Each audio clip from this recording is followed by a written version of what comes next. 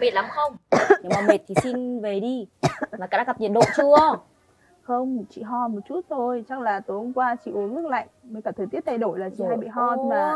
gặp nhiệt độ luôn đi. Cẩn thận Covid đấy. Chị xem có đau rát họng nhiều không? Em thấy ở khu tiếp đón ấy, mấy người bị Covid lần hai rồi đấy. Mày cứ nói vớ vẩn. Chị đi vào đấy đeo khẩu trang, sát khuẩn tay đầy đủ. Vaccine thì tiêm đủ 3 mũi làm sao mà Covid lần hai được Em nghĩ là nguy cơ vẫn có đấy chị ạ. Tốt nhất là chị lên làm xét nghiệm đi. Vừa an toàn cho chị, mà an toàn cho cả khoa mình nữa. Bây giờ nhỡ chị mà bị thật đi, cả khoa mình toang đấy. Mày đi mày làm xét nghiệm Chị không làm xét nghiệm đâu Suốt hai năm qua Suốt ngày mũi với họng Chị chán lắm rồi Thôi mày làm đi chị không làm đâu Chúng mày ra ngoài cho chị nghỉ một tí Nói nhiều quá Nếu là bạn, bạn sẽ thuyết phục chị điều dưỡng đang ốm này như thế nào?